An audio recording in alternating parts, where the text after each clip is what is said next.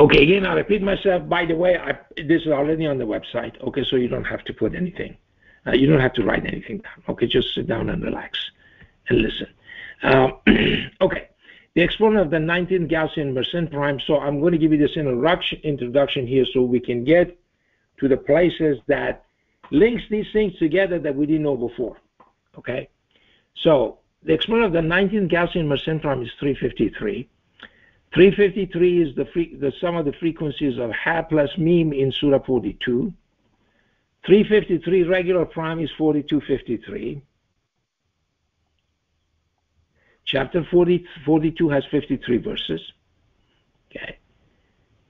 353 composite is 438. 438 composite is 538. 538 non-Chen prime is non-127. Okay. So immediately we go from Hamim in chapter 42, the 19th Gaussian Mersenne prime, 19th Mersenne prime, the exponent of those. And then we get to non-127. Okay. 438 additive prime is 6841.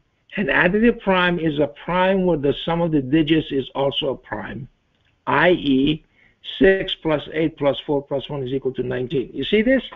This 438 also generates a prime number which is actually an additive prime, but additive more importantly, that additive prime, the number of digits actually adds up to a prime number which is 19. Okay? So there is some beacon here tells us, look at this more carefully. Okay, so that's what we're going to do. Okay? 6841st, I'm sorry, 6841 is the 532nd regular prime. 532nd composite is 651, but 61's composite is 790. 790th verse containing the word God is 9127. Okay. 790th lonely prime is 9619 and chapter 96 has 19 verses. So you see how we went from 353 to 9619 and 9127. What is, what is he trying to tell you? He's trying to tell you that. Do you have any argument with 96 having 19 verses? No, sir. You have any problem with chapter 42 having 53 verses? No, sir. If those are true, then 9 has 127 verses. It can't have anything else. That's what God is trying to tell us.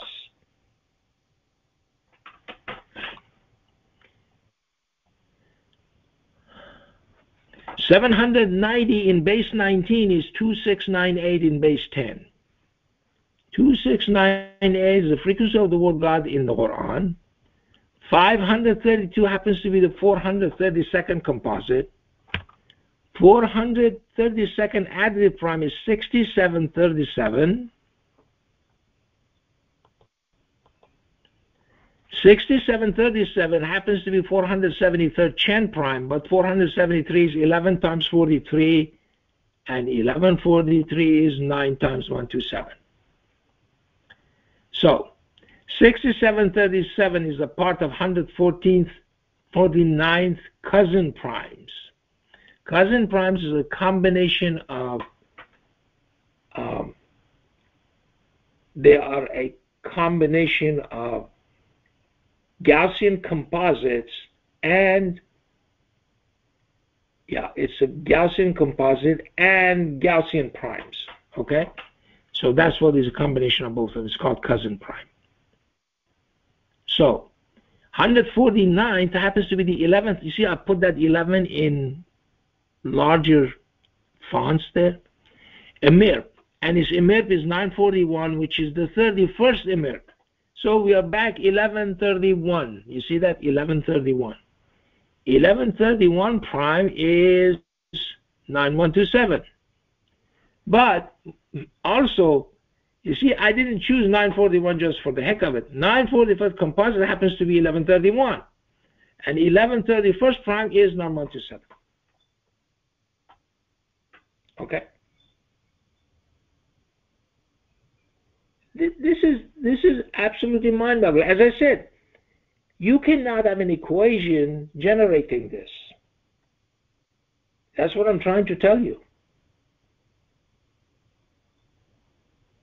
That this is the source of this is a place that the equations do not rule. Listen to me very carefully. A place that the equations do not rule. Okay? So God is giving us a, a view of this beautiful universe.